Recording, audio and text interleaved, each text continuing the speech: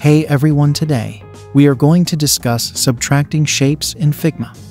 In Figma, subtracting shapes involves taking one shape and subtracting it from another to form a new complex shape.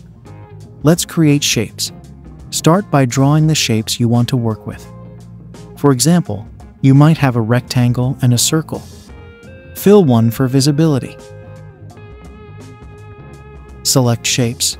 Highlight the shapes you want to use. The order of selection can matter, as Figma will subtract the top shape from the bottom shape.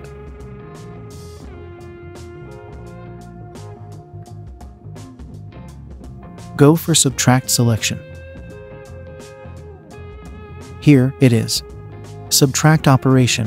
When you select Subtract, Figma removes the overlapping part of the top shape from the bottom shape, creating a new shape with a resulting geometry. You can also edit later by selecting Layer.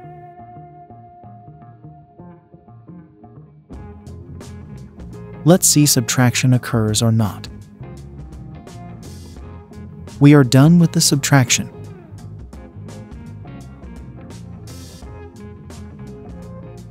Once you are done with the shape, press Ctrl E for flattening. After flattening, you cannot edit again. This technique is useful for creating complex and precise vector graphics, making it easier to design and customize shapes according to your needs.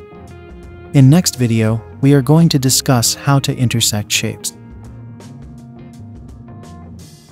If you are new to our channel, subscribe and hit the bell icon for more amazing content related to Figma.